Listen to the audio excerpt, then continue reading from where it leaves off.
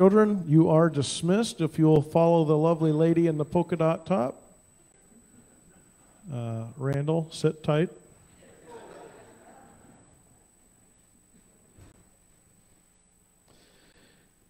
going to talk about mothers today, so I'm, I'm sorry to disappoint you that we're taking a detour from our, our trip through First John, but we will get right back into it next week.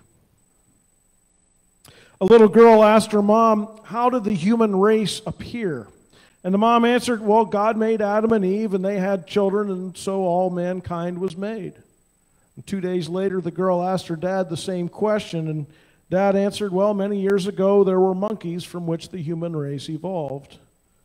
The confused girl returned to her mom and said, Mom, how is it possible that you told me the human race was created by God and Dad said they developed from monkeys? And the mother answered, Well, dear, it's very simple. I told you about my side of the family, and your father told you about his side.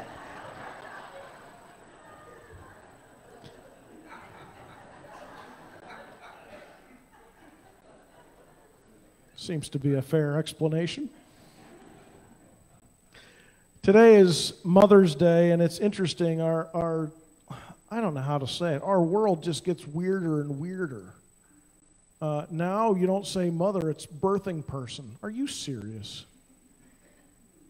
Yeah, I honestly wonder do people actually hear the stupid when it comes out of their mouths anymore? It's, it's really getting ridiculous birthing person. I can imagine being upstairs in the house growing up. Oh, birthing person. Really? Today is Mother's Day. It is, and, and certainly it is a man made holiday. It's something that, uh, you know, we don't, I, there's no chapter and verse for thou shalt set, up, set aside a particular day and honor motherhood and give her cards and make sure that she does not cook that day and take her someplace nice and so on and so forth. Some of the guys are like, oh, wait a minute, I'm supposed to cook today? What do I do? Go to a restaurant, find one quick. Um, the holiday might be man made, but motherhood is not man made, it is ordained by God. And that's something that our weirder and weirder society needs to be reminded of. Motherhood is a godly thing. Motherhood is a God ordained thing, and it ought not to be messed with.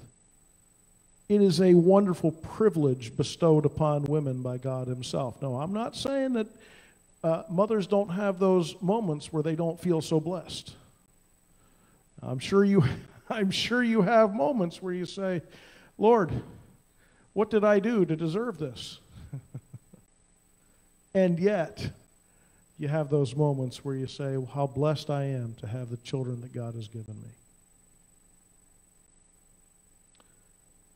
Our society has gone nuts, but we need to understand motherhood as a God ordained thing, a privilege that comes from God. We're, we're going to go to the Word of God this morning and look at an example of a, a godly mother, and that example is Hannah.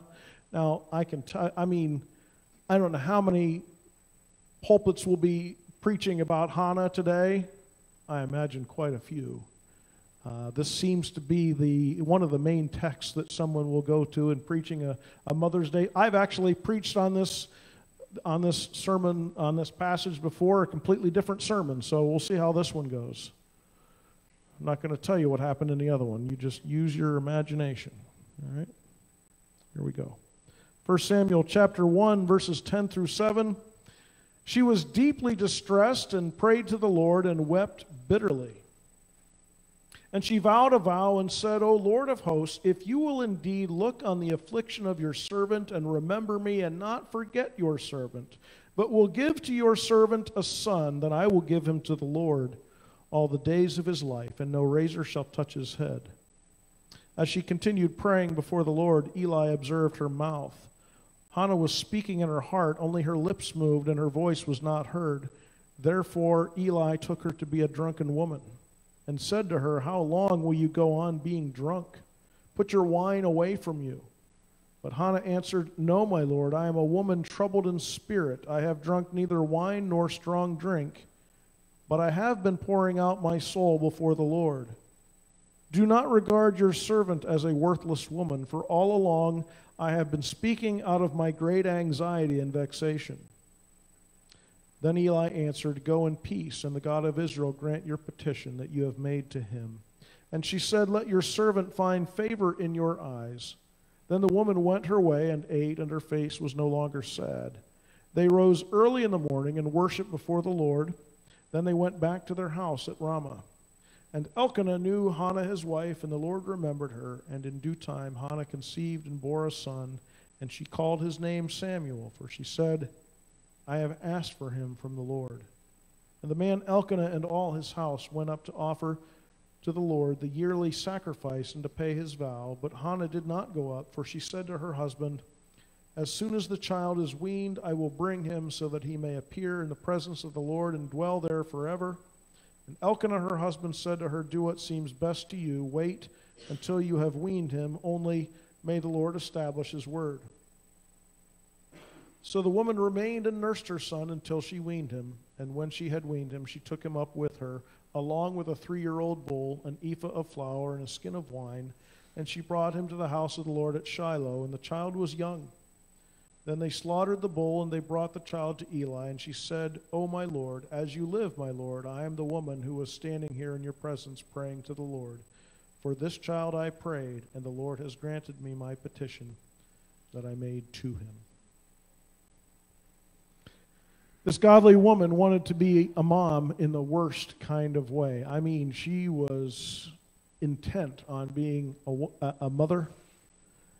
Uh, some, some moms are surprised that they became a mom. Some uh, don't handle that as necessarily the, uh, the, the blessing they were looking forward to.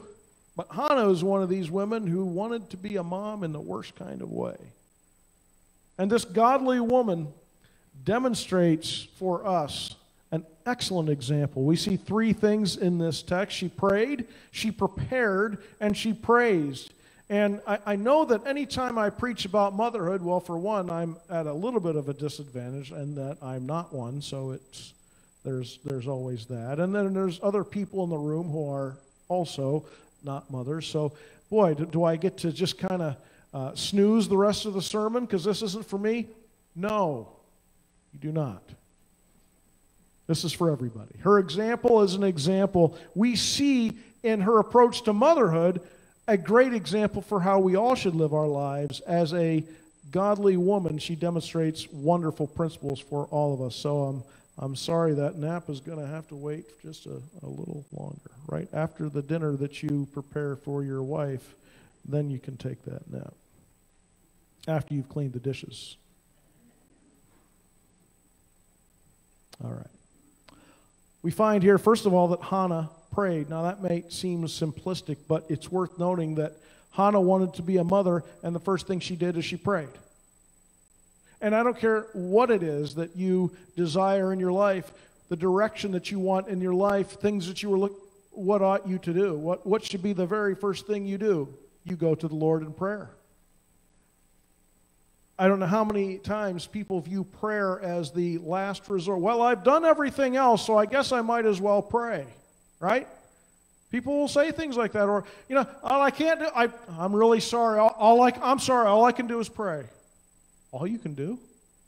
All you can do. That's the best thing you could possibly do. Engage the the eternal Creator, and and have Him be involved in bringing His power into the situation. That's the that's the best thing you could possibly do. Everything else should be secondary to that. Hannah wants to be a mom, and so what does she do? She prays. James 4, verse 2 says, You do not have. Why? Because you do not ask. How many times do we deprive ourselves because we haven't bothered going to the throne, recognizing that He invites us to come and bring our needs to Him? You do not have because you do not ask. Oh, what peace we often forfeit. Oh, what needless pain we bear, all because we do not carry everything to God. It's almost like we sang that this morning or something. Right? The most important, the most effective thing that we can do is come to the Lord in prayer. James 5:16 says the prayer of a righteous person has great power as it is working. Hannah knew that the one place she could go is to the Lord. She knew that He would listen to her. Even if she didn't get the answer she wanted, she was still going to go to Him in prayer.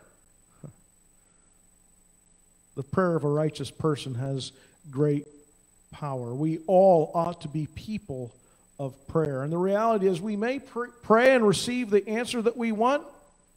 We may pray and receive an answer that we didn't expect.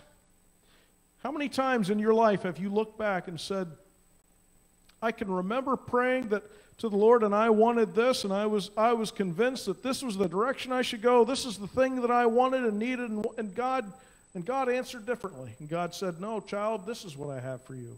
And you look back after time goes by and you say, "Boy, I'm sure glad that he gave me what he decided I should have instead of what I thought I wanted." He truly does know best even though at that very moment we think, this is what I need, this is what I should have. We might even say something like, this is what I deserve.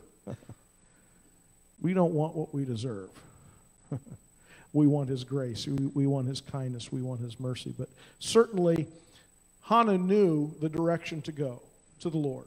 That's the place to go. If, if I'm going to be a mom at all, it's going to be because of His gracious uh, working and, and involvement in my life. And so I'm going to go to Him. She didn't know if the Lord would give her a child or not, but she knew He was the one to make it happen. 1 Peter 5 7. I, absolutely one of my favorite verses in all Scripture. Casting all our anxieties on Him because He cares for you. And I love how it says all your anxieties, every last one of them. What do people do when they have anxiety? Well, I, there's a medication for that. Or they self medicate with something else you, you try to drink your anxieties away, you realize once you run out of stuff to drink that you're only delaying the problem. Where are we supposed to cast our anxieties? To the Lord. Why? Because He cares. Because He has an answer. I am so thankful. I, I have never brought anything to the Lord, and He says, Now listen, you just stop wasting my time. That's trivial, and I don't care. Nope, that's not His response. And he also doesn't respond, now that's too big. I can't handle that. He doesn't respond to that. Rather, he invites us to cast all of our anxieties on him because he cares for us. What an encouragement this morning. That's an encouragement for us. It was an encouragement to Hannah. She knew that she could cast this anxiety on him, and that's exactly what she did. And we know that it was some pretty high level anxiety. Here she is praying at the temple, and even the priest thought she must be drunk. How many of you have done that? You've come to church and you prayed and, and, and the pastor thought you were drunk.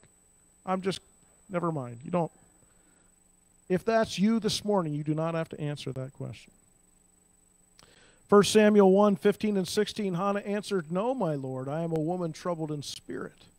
I have drunk neither wine nor strong drink, but I have been pouring out my soul before the Lord. Do not regard your servant as a worthless woman, for all along I have been speaking out of my great anxiety, and vexation. What do you do when you're overwhelmed? I mean, some of us have gone through some pretty intense stuff. I know that for knowing some of your situations. You've gone through some life stuff that was pretty intense, pretty heavy stuff. Where do you go when you're overwhelmed? Well, I want to encourage you go directly to the Lord, make no detours.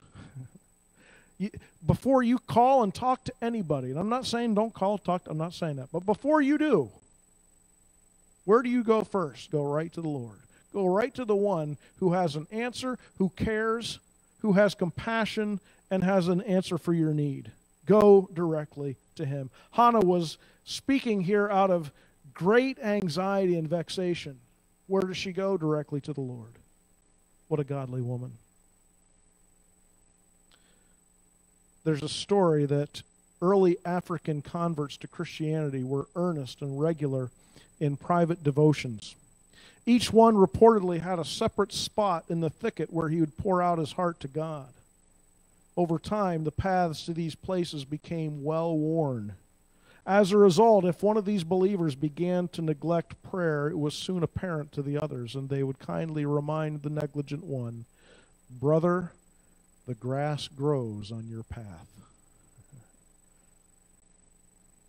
When you're overwhelmed, let me ask you is there grass growing on your path? Or have you so well worn that path that it, there's, it's a no brainer? I, I just found out thus and such. I'm going straight. I'm going straight to the Lord. I was going there anyway, but now I'm, I'm going to bring that need to Him because I know that He has an answer for me. When we are overwhelmed, we need to go directly to the Lord. Hannah prayed, full of vexation and anxiety, so overwhelmed with this desire to be a mother, and God answered.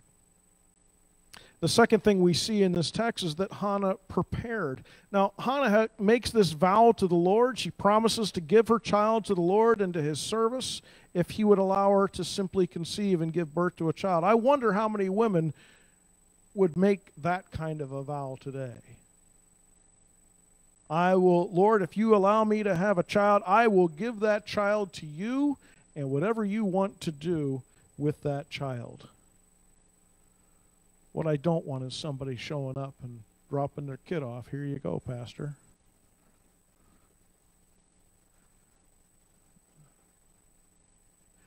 Can you can you maybe raise them at your house and still bring them on Sundays? Uh, we're trying to get rid of kids. Sorry, Josh. Get back there. I keep hearing about that wonderful thing called empty nest. I'm just kidding. I'm sorry. I love you, son, back there. Hannah makes this vow to the Lord, promising to give this child, and it's it's incredible. Here she is; she wants a child so badly, and she says, "If you give me this child, I'm going to give him back to you." Isn't that incredible?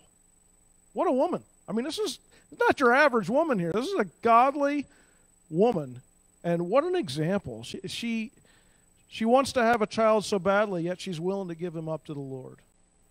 Says here that she weaned him and then brought him to the Lord. Uh, verse 23 in our text says, Elkanah, her husband, said to her, Do what seems best to you.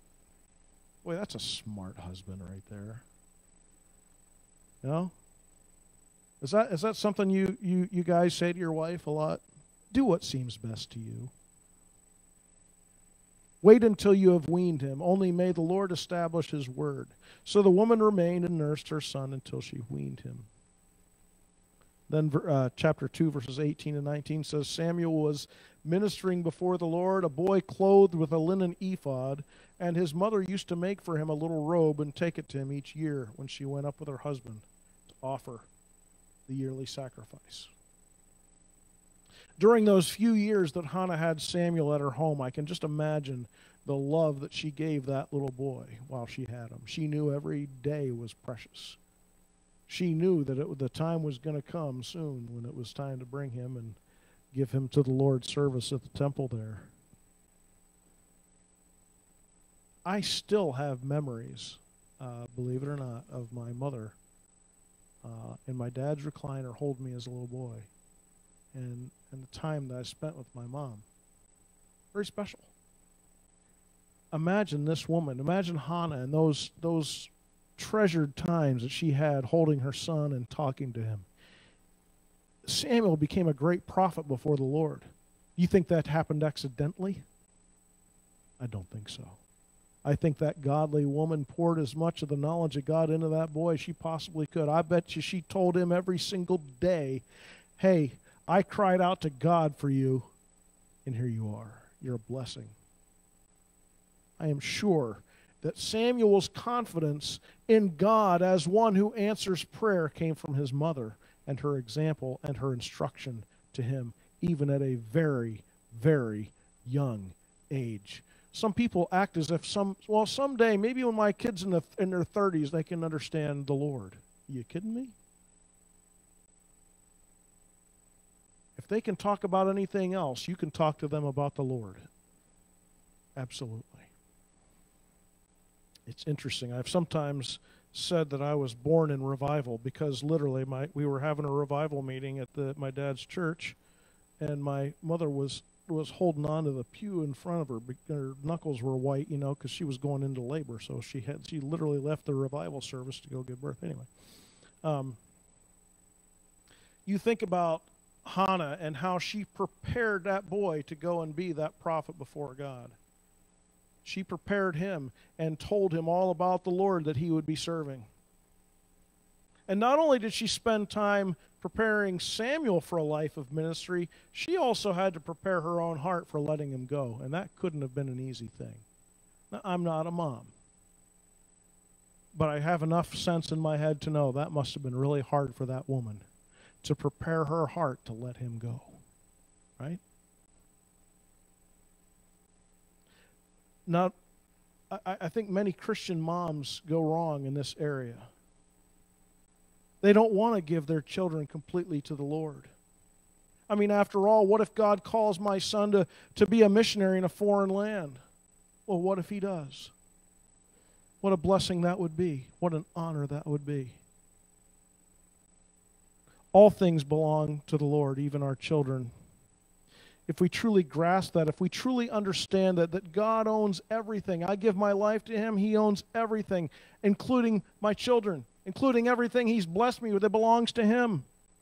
They're in the, they're in the Lord's hands. And Hannah gave her son to the Lord, and that means that God's will was more important than Hannah's will. Our children need to be given to the Lord. It's our job as parents to raise our children to know and to love God. And I want you to hear me on a few things here. Your child might love to do things like play baseball. They may love music. They may, they may play an instrument. They may be involved in some other activity, and all those things are fine. But the world's going to tempt you to promote those ambitions in your child's life to the exception of godly instruction. And if you take that bait, you failed. Because your first and foremost job as a mom is to do what? To raise your children to know and love Jesus Christ. That's your number one priority. There's going to come a day when many parents will say, I wish I had insisted on my children knowing the Lord more than knowing sports or music or whatever else it is. You say, Pastor, where are you getting this nonsense? Just Scripture. Paul says in 1 Timothy 4 8, For while bodily training is of some value, godliness is of value in every way, as it holds promise for the present life and also for the life to come. It doesn't mean that sports are irrelevant and, and they're bad. They're not, nothing bad or evil about sports. But a, but a mother who prioritizes sports over, over a relationship with God has made a mistake.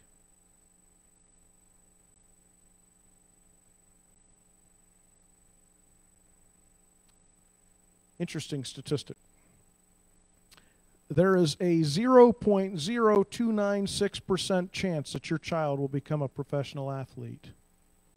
But there is a 100% chance that your child will stand before God. How tragic would it be that your kid can hit a fastball, but hears someday the words from the eternal throne Depart from me, you worker of iniquity, I never knew you. It's tragic. Mom's, your first job is what? Raise your child to know Christ. There's no greater calling. There's no higher calling you could possibly have. And Hannah had to prepare her heart, had to prepare his heart, that you're going to belong to the Lord. And while you may not take your child to the temple and make a little robe for him every year like Hannah did, every mother can dedicate their children to the Lord. Every mother can say, this child belongs to the Lord. And whatever happens in that child's life, I'm going to do everything I possibly can to bring them to the Lord Jesus Christ. If they go to hell, it won't because of me. It won't be, it won't be on me that I never told them about salvation in Jesus Christ. Sorry to get a little intense on you this morning. But that's reality. And Hannah was a godly mother. She prepared her child to know the Lord. And godly moms to this day continue to do the same. They say, This child is a gift. I'm going to give that child to the Lord's care. It's difficult to prepare our children to belong to the Lord. Our, our culture will fight us at every turn. You, you look at the, the schedules of when sports gather. Oh, Sunday mornings, let's have baseball practice. Let's have whatever. Drives me nuts. And so now everybody has to compete with that. Now, I will say I was pastoring a church in Massachusetts, and the, the priest in town of the Catholic Church had had enough of it. And he got everybody that went to his church, and we got all the other churches involved, and the parents basically said to all the coaches, You have a practice on Sunday morning, we're not coming. And so the town actually changed it to after 12 noon, they could have uh, sports. I, I think it might be time for some Christian parents to get up and say, you know what, enough of this. Enough of this. We don't mind having sports. Sports are great, but we need to have them a little later in the day. Not a bad idea. My son, I can remember years ago, he, he was going to, I don't know if you remember this, Josh. You were a young one. He was going to play football. I was all excited. I figured I had a linebacker for sure. I was going to help coach, and I asked him when they uh, when when the practices and all that were, and they said Sunday mornings, and I said, "Yep, well, we're not doing that." So uh, sometimes we do make sacrifices, but the sacrifices we ought to make ought to be on the side of righteousness, not on the side of the world. Those are tough choices to make. I get it. And sports are not bad, but there's nothing more important than raising your child to know Christ. All right, anybody ready for me to go to the next point? Here we go. She praised. 1 Samuel 1 27. For this child I prayed, and the Lord has granted me my petition that I made to him. And then uh, chapter 2, verse 1 And Hannah prayed and said, My heart exalts in the Lord, my horn is exalted in the Lord, my mouth derides my enemies because I rejoice in your salvation. Now, I love the fact that Scripture records Hannah's praise to the Lord for her answered prayer. She prayed for a child, the Lord gave her what she prayed for. How many times do you think people pray to the Lord and they ask and God answers and they forget to say, Thank you. Praise you, Lord. You know, it's amazing to me. I, I constantly think of the story. You know, Jesus heals the ten lepers, right? Remember that? You think of COVID, social distancing, six feet. Not for lepers, you were completely outcast out of society, period. And not only was it a, a debilitating disease that, that ate away at their, at their body, but, but they were outcasts from the rest of society. Jesus heals these ten lepers. You'd think they would just be declaring his praises all over the place and thanking him again. And it says they walked away, and of the ten, one came back to say, Thank you and praise the Lord. Um, and Jesus says, Weren't there ten? Where's the other nine? What's going on here? And and we say, well, you know, that's that's not normal. I mean, society is a very thankful people. Man, is generally thankful. No, we don't say that, do we? In fact, we're probably not even that surprised. And as a, as uh, the mothers here today, how many times have you had to tell your child, Make sure to say thank you to so and so for the whatever, right? You have to actually you have to remind your kids to say thank you. Why? Because they don't necessarily think to say thank you. We seem to be lacking in the uh, thank you department. We seem to be lacking in the praise department, giving God praise for the things that He has done. in Romans 1, the Apostle Paul speaks about the wrath of God upon mankind. And one of it's interesting as we look at this, one of the primary things that God's wrath comes upon mankind for is what? God reveals himself to mankind, his goodness, the things that he has made, all that he has done, and what does man do? Refuses to give God thanks for what he's done. Let's look at it. Romans 1 20 and 21 For his invisible attributes, namely his eternal power and divine nature, have been clearly perceived ever since the creation of the world in the things that have been made, so they are without excuse. For although they knew God, they did not honor him as God or give thanks to him. But they became futile in their thinking, and their foolish hearts were darkened. Interestingly, what indicts mankind is they received the goodness of God's creation but did not honor God or thank Him. No praise, just took advantage of what they received. But a godly mother is one who recognizes that her children are a gift from God Himself. She views each one as a gift and as a reason to give praise and thanks to God. I, am I'm, I'm sure that Hannah would have agreed with what James said in James 1 17. Every good gift and every perfect gift is from above, coming down from the Father of lights, with whom there is no variation or shadow due to change. The good gift of your child is a gift from God Himself. Hannah praised God. She knew that Samuel was a gift that came from him, and we can learn from this godly mother that it is good for us to praise God for everything that we receive from his bountiful hand. In conclusion, Randall, you didn't know if you're going to make it this far, but you have. Here we are. Hannah prayed. When you're overwhelmed, when you're troubled, when you are filled with anxiety, where do you go? You can go to the Lord in prayer. He's not your second place to go, not your third place. He's not your last resort. He's the first place you need to go when you're overwhelmed, troubled, filled with any anxiety of any variety. Cast your cares on Him because He cares for you. Secondly, Hannah prepared. Recognize that the highest priority you have is to give your child to the Lord. Prepare them for that fact and prepare yourself. This child needs to know the Lord. I need to give my child to Him. And, and any ideas of what I would think for the future of that child, what I ought to think is the most important direction for that child to walk is in righteousness, in relationship with Jesus Christ. Hannah praised.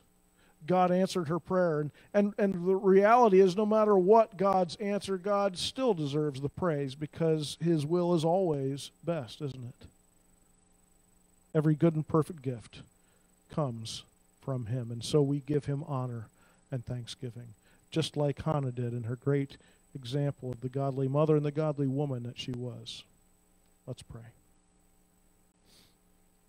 Lord, we thank you for your word this morning. We thank you for the encouragement as well as the challenge that it gives to our hearts.